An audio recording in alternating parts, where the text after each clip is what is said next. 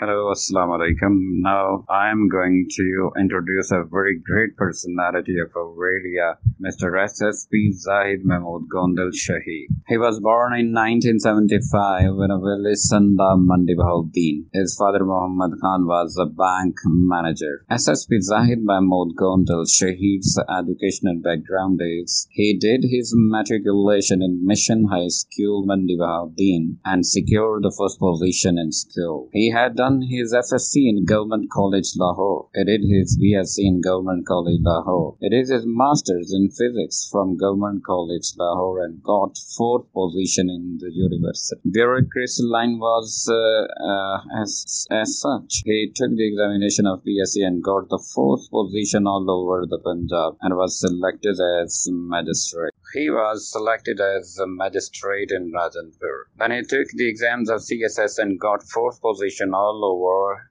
the Pakistan and was selected as PSP means ASP. He was posted first in Swat as ASP, then Nowshera, then Haveri, and then in Peshawar. Moreover, he got promoted as SP and was posted in Sheikhupura and he was posted in Sheikhupura. After one year, he was posted in Sialkot as SP. Then he was promoted as DPO and posted at Rajanpur. After serving two years there with successful Kacha operation, which was seemed quite impossible, but he did it, and then he was promoted as SSP admin. At that time, he was posted in Lahore. Then finally, he had two charges SSP operational and uh, and DIG operation in Lahore. After four days, he was killed, means martyred in bomb blast.